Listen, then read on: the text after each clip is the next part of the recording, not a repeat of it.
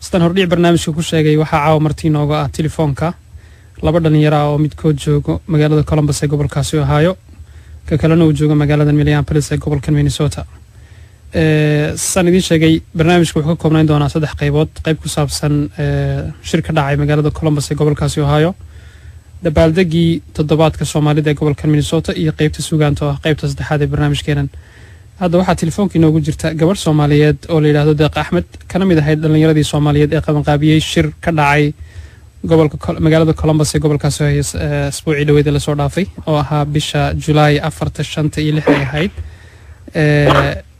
Waxaa shirkaasi uu ku saabsanaa dhallinyarada soomaaliyeed. Magaciisuna waxaa somali youth summit ama bashir weynihii dhallinyarada soomaaliyeed ee koowaad marka haddii la idhahdo waxaan deeqa ka weydiin doonaa wax ku saabsan qabanqaabadii barnaamijkaas. Deeqa ma may maqlaysaa? Aad baad u mahadsan tahay deeqo waktiga aadna siisay in annaga iyo dhegeystayaasha minnesota jooga iyo dadka caalamka nagala socda. Websiteka k f i dot org. Aad fursadda u siiseen inaad kala qayb gasho barnaamijkan. Waxaan eegay websiteka loo yaqaano bartamaha oo ah meesha inta badan dadkii qabanqaabinayey ay ku soo bandhigaan waxqabadkii amaba dhacdooyinkii ku saabsanaa ee shirkii dhacay toddobaadkii dhoweyd si guud maxaad nooga sheegi kartaa qabanqaabadii barnaamijka siduu ahaa guud ahaan? Aad iyo aad buu fiicnaa dad badan baa ka soo qayb galay alxamdulilah dhalinyaro waalidka way wada joogeen waxaa hadlayay niman oo aada loo jeclaay waxaa jira dr dolly oo tarano ka imi waxaweyaan lawyer oo firmla waan gartay. Tarano isagaa imi nala hadlay. Waxaa jira cali mare oo qoray soomaaliya toos toos waan gartay. Wiinoo heesayba waan gartay. Iyo xasan cali mare wuxuu ahaa nin oo ka graduate garay princeton. He's the first first somali guy. Um isagana wuu nala hadlay waxaa jiray dhalinyaro oo ka imi north carolina iyo stadio kale ayakana waxay ku jiraan jaamacadda way nala hadleen. Waan gartay. Alxamdulilah dad badan baa joogay. Waa marka laga soo tago deeqa ee dadkii la hadlayay ardayda ee ka soo qayb galay siduu ahaa imaanshaha dhallinyarada oo aan filayay inuu ahaa dadkii loogu talagalay barnaamijka. Dhallinyarada caadiga ah ee iyagu ama dugsiga dhexe ku jira ama dugsiga sare ku jira amaba kuwa dhibaataysan ee la doonayay in shirkan uu noqdo mid wax u qabta iyaga? Dhalinyarada aada iyo aada kuma badan kuma badneen waxaa ka buuxay like niman. Waxaa joogay odayaal iyo iyo iyo habro. Laakiin waxaan rabay inay dhalinyarada soo baxaan imaadaan. Waan gartay for some reason it wasn't a big turnout. Waan gartay sanadka soo socda insha waan bedeli doonaa. Waad bedeli doontaan marka ma waxaad leedahay sidii yani yani ogeysiiskiinu inta badan ma wuxuu ku aadanaa dadka waaweyn oo dhalinyarada kuma aadanayn mise dhalinyarada waad u gudbiseen ogeysiiskan iyo casuumaadan laakiin iyagaan imaneen? Ayakaanan iman. Waan u gudbinay waa loo sheegay waxaa bartamaha dot com.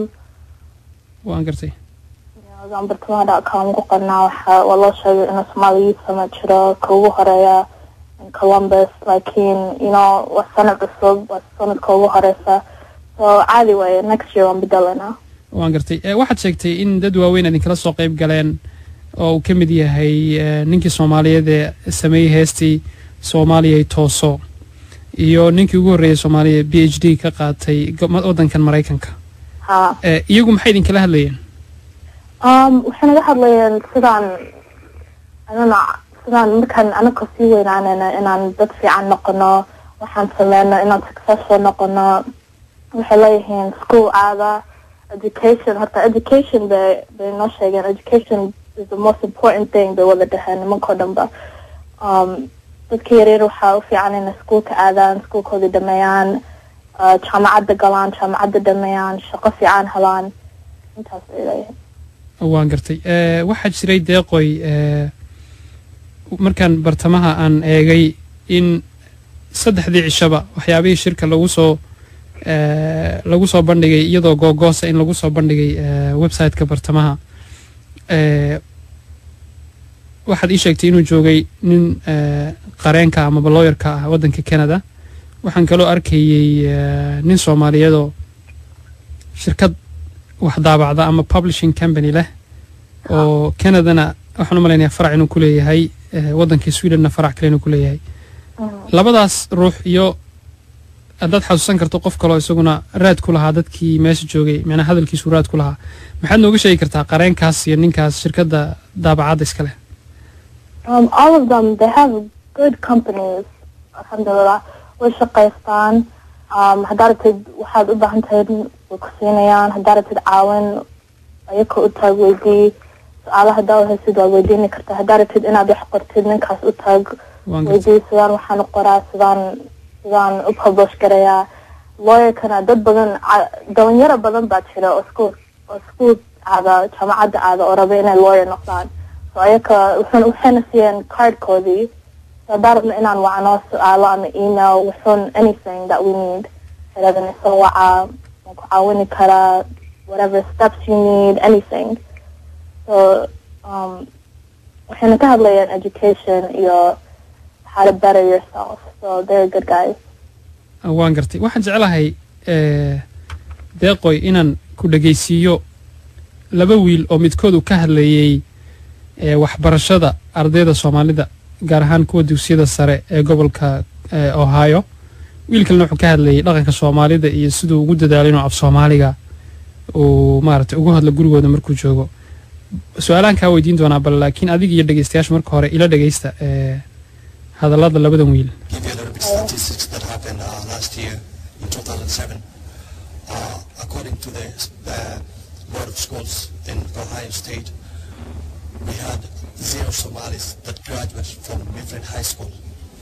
zero.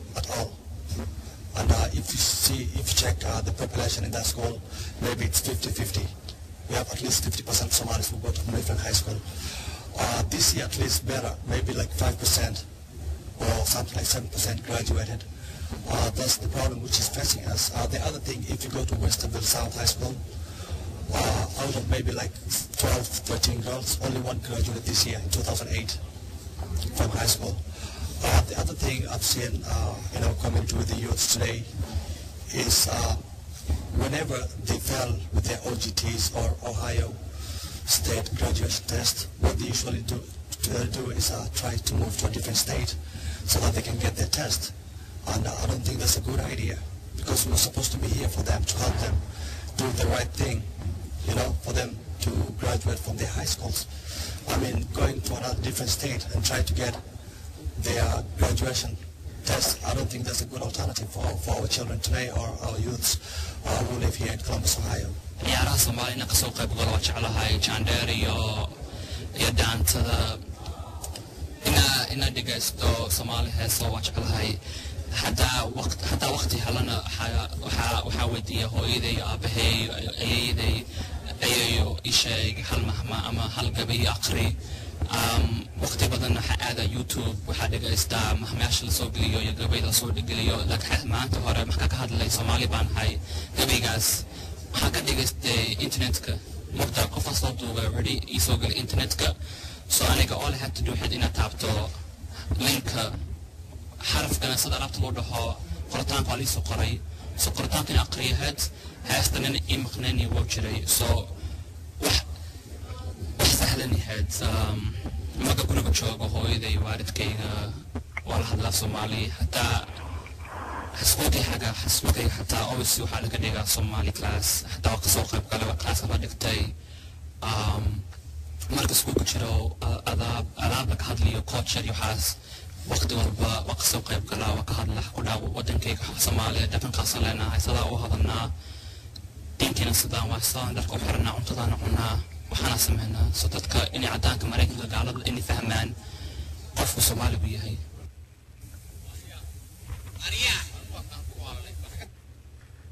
Eh, waad imaqlaysay eh, deeqa? Waxaan u malaynayaa inaad eh, si fiican u xasuustid labadaas arrimood. Ta kowaad waxay ka hadlaysay statistics amaba xog uu soo bandhigay mid ka mid a dhallinyaradii ka soo qayb gashay shirka. Oo uu kaga hadlayo dhibaatooyin ka jira ardayda micnaha aadka u yar ee ka qalin jebinaysa iskuullada oo uu sheegay in iskuullada qaarkood ayna xitaa arday soomaaliyeed una ka qalin jabinin marka ee ka kalena wuxuu ka hadlayay dabcan dhaqanka soomaalida iyo inuu ku dadaalo inuu af soomaali ku hadlo markuu gurigooda joogay iyo inuu isku dayo inuu barto micnaha tahay iskuulka maado lagu dhigo uu ka qaato. Marka maxaad iiga sheegi kartaa tii koowaad oo ah micnaha arrin aad u naxdilna weeyaan in iskuullada qaarkood ayna qof soomaali una ka qalin jabinin maxaad iiga sheegi kartaa arrintaas shirkuse muxuu ka hadlay ee wax ku saabsan arrimahaas? Waa dhibkaasi horta. Uh, waxaa jira carruur badan oo aanan qaban jabin waan gartay. Kaasi waa dhib because waxaa jira in Columbus waxaa jira thirty five thousand Somalis iyo and counting. Waan gartay. Marka dhalinyarada waxay ku jiraan waxa la yidhahdo gangs iyo iyo way isdilaan iyo iskuulada waa dhib because madowga iyo soomaalida way isdilaan So Columbus was fast. Um, for that reason, wallahi ma ogi why they're underachieving. Ha, Um, waa dhibaato xaggan minnesotana ka jirta oo dabcan laga yaaba inaad maqasheen dhacdooyinkii ee, dhowr dhacdo ka dhacay gobolkan oo wiilal soomaali lagu dilay. Oo weliba soomaalida dhexdeeda isdishay uma malaynay dhibaatadaas weli idinkeena idin soo gaartay oo soomaali soomaali uh, dilay oo yimid. maqalnay. ha laakiin ee, ardayda masalan ohio state university dhigata waan ogaa arday firfircoon bay ahaayeen. Laba mar oon soo booqday gobolkiina. Ee, arrintaas maxay ka sameeyaan? Um, way may way hadlaan waan gartay way hadlaan arrinta way la hadlaan waxay raadaan maxaad sameynaysaan waxaa idin fiican inaad jaamacadda gashaan qaban jabisaan shaqo fiican inaad heshaan because in the end education is everything. Waan gartay waan gartay shirkani markaa ee dhinacaas wax ma ka taabtay oo sidii loo xalin lahaa dhibaatooyinkan ardayda maaragtay waxbarashadooda ay hoos u dhacday ama iskuullada ka tegaya amaba dee kuwa dhibaataysan haddaad sheegtee gaangskii ku biiray sidii wax loogu qaban lahaa shirku muxuu ka sheegay waxay ka sheegeen just inay waalidka caruurtoodii la hadlaan iyo anaka dhalinyarta inaan caawino aan aan u sheegno waxay sameynayaan inuu xun yahay siday how to do better waan gartay how to not fight waxaas oo dhan waan gartay ee wiilka labaad wuxuu ka hadlayey dhaqanka soomaalida iyo inuu ku dadaalo inuu af soomaali ku hadlo. Ee haddaan kaftamo ee af soomaaligiisa aad buu jajabnaa wagaagoo kale. Marka ee, isaga waan gartay wuxuu yidhi hooyii ayayaan guriga la- kula hadlaa af soomaaliga. Class ee, ohio state laga dhigana af soomaaliyana waan qaatay. Adigu ma samaysaa sidaas oo kale. Aniga ha markaan hooyaday la hadlay soomaali aan ku hadlayo aabahay iyo ayay iyo ayay qofkaas laakiinse markaan saaxiibadee la joogo of course waxaan ku hadlayaa english. Ah, markaad waa inaan bedelo ah, saaxiibadaada soomaalida markaad la joogtid ingiriis baad ku hadashaa? Keligaa maaha waa hawl u taalla ee dhalinyarada soomaalida oo dhan. Ee, waxaanan jeclahay in waalidku uu xil gaara iska saaro in maaragtay carruurtooda af soomaaliga ku hadlaan. Waayo waa waxaa la yidhi waa sida keliyay labadoodu xiriir ku yeelan karaan oo dhaqanka ugu wareejin karo. Waayo waxaad doonaysid haddii aadan dee si fiican u sharxi karin dabcan micnaha waxyaabihii qiyamkii ama valueskii aad adigu lahayd uma gudbin karaysid adigii ilmahaagu aadan isku afahayn Ah, waayo. ugu dambayntii ee, deeqa waxaan rabaa inaan ku weydiiyo sida lagu soo bandhigay ee, qabanqaabada shirkan oon ka daawaday bartamaha. Waxaa la sheegay inuuna ahayn shirkani kii ugu horreeyey uguna dambeeyey una noqon doonin ee uu sii socon doono. Dabcan sida inta dhegeystayaasha qaarkood ay xasuustaanna waxaan waraystay cabdisalaam caato iyo wiilwaal oo ahaa laba wiil oo ka mid ah qabanqaabayaashii shirka oo aan asbuuci hore ka weydiiyey wax ku saabsan shirka. Marka maxaad qorshaynaysaan mustaqbalka dhow inaad samaysaan? Kani wuxuu noqon doonaa kii u dambeeyey? Mise kuwo kale ayaa jiri doona? Hadduu jiro xaggee lagu qabanayaa maxaase lagu soo bandhigi doonaa kuwa dambe? Maya waa kii ugu horeeyay waan gartay. Insha allah ma garanayna meesha ugu qabanayo. Waan gartay. Laakiinse waxaan rabaa inay dhalinyarta oo dhan oo columbus inay wada imaadaan waan gartay inay um, hooyo aabo ayeeyo qof kasta cid kasta inay wada imaadaan dhan waan so gartay insha allah um, gonna campaign. Aha uh, we're gonna campaign. Qof kasta inay imaadaan inay ka qayb galaan yacni olole iyo tabaabasho badan baad u geli doontaan si dadkao dhan aad u wada keeni lahaydeen ha. Waan gartay Ee, deeqo aad baan kugu mahadinayaa waqtiga aadna siisay annaga iyo dhegaystayaasheenaba Eh, waxaanan eh, kuu rajeynayaa adiga iyo wiilasha kula qaaban qaabinayay wiilasheen oo dhan dhalinyarada kula qaaban qaabinaysay eh, inaad ku guuleysataan shirkan. Waa arrin muhiima in ardayda soomaaliyeed eh, da-da yare ay hesho tusaale fiican isla markaana ay maaragtay waxbarashadooda ku dadaalaan kana fogaadaan waxyaabaha dhibaatada u keenaya. Mar kale waad mahadsan tahay